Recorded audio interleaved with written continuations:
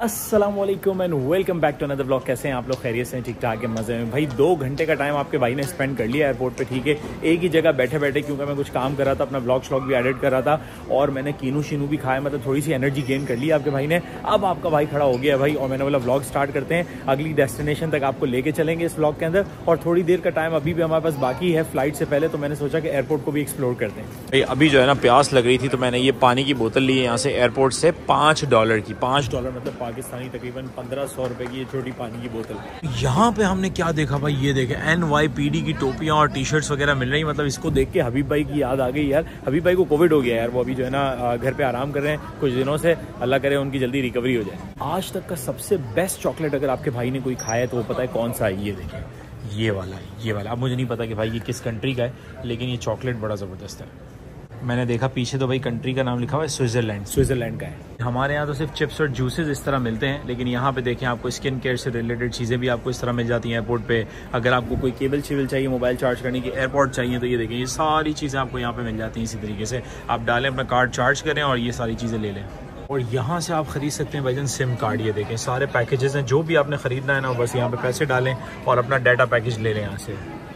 यार मतलब आपका भाई अभी तक टर्मिनल फोर पे घूम रहा था और मेरी फ़्लाइट है टर्मिनल फाइव से। सही है तो टर्मिनल फाइव के लिए मैंने आगे से जो है ना एयर ट्रेन लेनी है। ओए होए भाई ये है एयर ट्रेन का रास्ता और रश देखें कितना लगा हुआ है यहाँ पे। चलो भाई चलो भाई चलो भाई। आगे गए भाई टर्मिनल फाइव पे।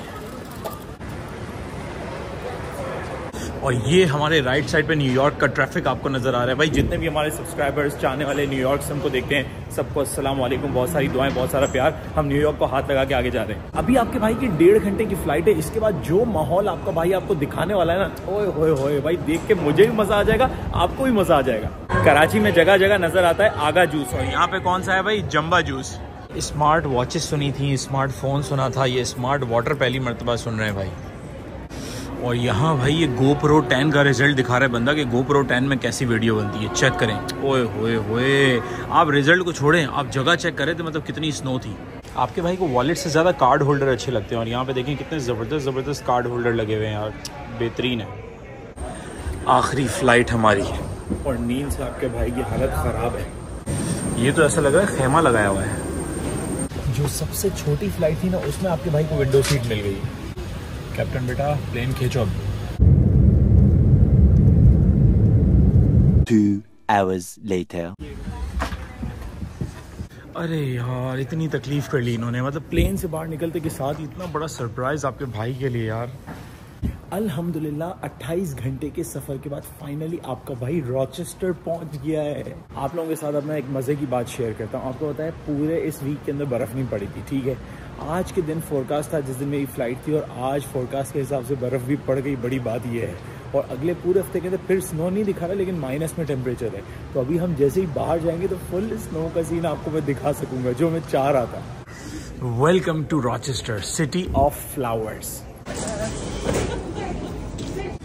और यहाँ थड़ थड़ाती हुई सर्दी हमारा इंतज़ार कर रही है। ओए ओए ओए ओए ओए, ऐसा लग रहा है कि बर्फ़ के अंदर आ गया हूँ मैं, भाई। ये देखें, गाड़ी के ऊपर बर्फ़ है, ये देखें ये देखें। ये देख रहे हैं आप लोग, ये गाड़ी के ऊपर बर्फ़ है। धुआँ चेक करें। ओए ओए धुआँ निकल रहा है। और यहाँ पे कौन आया हमें लेने के लिए? इतना छुप के आए इतने जो है ना, चीज़ें पहन के आए कि नज़र ही नहीं आ रहे आमिर भाई। अरे भाई, गाड़ी भी बोल रही धुआँ धुआँ कर दिया। अस्सलाम वालेकुम भाईजान कैसे हैं आप? खैरियत से ठीक ठाक है? यार ये ये तैयारी की है ना इन्होंने बर्फ़ से लड़ने की।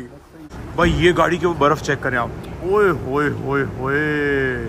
महीनों के बाद हम आमिर भाई की गाड़ी में दोबारा बैठ गए भाई। ये देखें ना हीटर का जो है ना हाँ। ये मामला रेड हो जाएगा। ओए होए होए ज़बरदस्त सब कुछ लाल लाल हो गया भाई।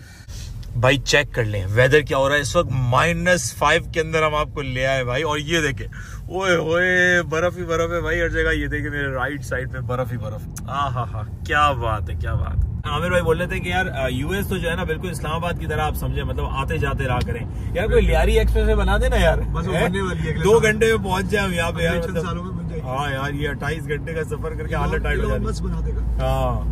अरे मुस्तफ़ा भाई आपको जेट लैग हुआ है कि अभी फ्रेश है आप? भाई जेट लैग का असल मायने मुझे आज समझ आया है। क्योंकि जेट के अंदर जो मेरा आज लेग फंसा हुआ था ना यकीन करें इसको बोलते हैं जेट लैग यार। आमिर भाई ये बताएँ कि अभी हम जा कहाँ रहे हैं? भाई अभी घर जा रहे हैं हम लोग। भाई घर जाने के लिए थोड़ी है यहाँ पे मतलब एडवेंचर करना है जंगल वंगल में लेके जाए भाई गाड़ी। जंगल में जाना हाँ जंगल में कोई हॉरर हॉन्टेड जगह दिखाएँ जिस तरह लास्ट टाइम दिखाई थी। अरे कुछ सही में टकर गया तो? अरे कोई मसला नहीं है अल्लाह वाले के अल्लाह का नाम लेके चले जाएँगे। चले ठीक है सही है चले चलते भाई। ये देखें भाई सामने माहौल क्या बना हुआ है। घर के ऊपर से धुआँ निकल रहा है चिमनी में से मतलब सर्दी की वजह से जो है ना फुल अंदर गर्म माहौल बना होता है। घर खत्म हो गए हैं और जंगल शुरू हो गया है भाई। लास्ट टाइम जो वो कलर चेंज हो गया था उनको जो काले थे गोरे हो गए थे। Exactly. नहीं गोरे थे काले हो गए थे। हाँ अच्छा, वही जगह है। जंगल है भी है और देखिए पूरा बर्फ़ में ढका हुआ जंगल है भाई।